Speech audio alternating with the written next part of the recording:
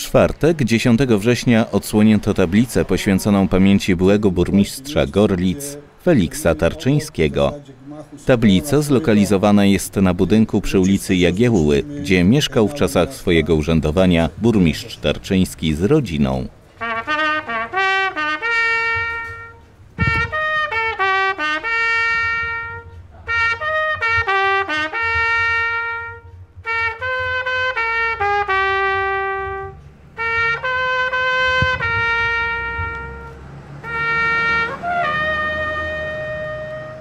Odsłonięcia tablicy dokonał burmistrz Rafał Kukla.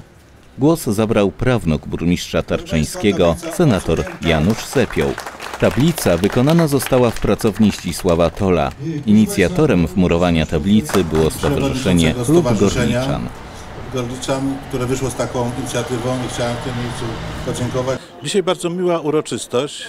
Na rodzinnym domu Feliksa Tarczyńskiego została odsłonięta tablica jego pamięci. Kto to był Feliks Tarczyński? To był ostatni burmistrz Gorlic okresu autonomii galicyjskiej. Ostatni burmistrz, który ma duże zasługi dla miasta. Był tutaj długi czas wiceburmistrzem, ale jako burmistrz wybudował właściwie najbardziej imponujący gmach tego miasta, czyli CK Gimnazjum Liceum imienia Kromera, a jego dom jest naprzeciw gmachu Sokoła, którego budowę też wsparł i to materialnie swoim, swoim majątkiem i jako członek zarządu Towarzystwa Gimnastycznego Soku. Y, Założył tutaj y, drogerię, był farmaceutą po Uniwersytecie Jagiellońskim, działał także jako działacz y, gospodarczy, a więc ma dla tego miasta mm, poważne, poważne zasługi. I właściwie taki tragiczny los, bo mm, przeżył nieszczęście tego miasta, czyli wielką bitwę pod Gorlicami, w wyniku której miasto zostało zniszczone. On jako przedstawiciel administracji został ewakuowany do Gracu, wrócił tutaj, wrócił na ruiny.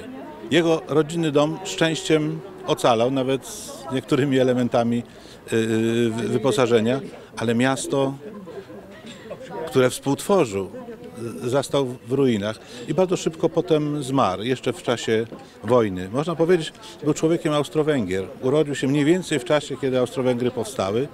Austro-Węgry, przypominam, powstały w 1867 roku. On urodził się w 1861 i zmarł w tym samym roku, co Franciszek Józef, ostatni cesarz, przedostatni cesarz Austro-Węgier, ale już po Franciszku Józefie to już był tylko, to już był tylko upadek.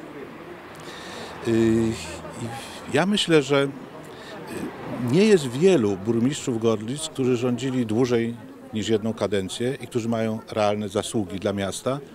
I wydaje mi się, że byłoby dobrą tradycją, żeby pamięć tych wszystkich postaci, tak jak Biechoński, tak jak Świejkowski, tak jak przykład Rogojski, który nie jest y, upamiętniony, znalazły y, jakieś miejsce w krajobrazie miasta. Czy to będą tablice pamiątkowe, czy to będą nazwy ulic, ale żebyśmy o gospodarzach tego, realnych gospodarzach tego miasta wszyscy pamiętali. Tak się buduje lokalna pamięć, tak się buduje lokalna tożsamość.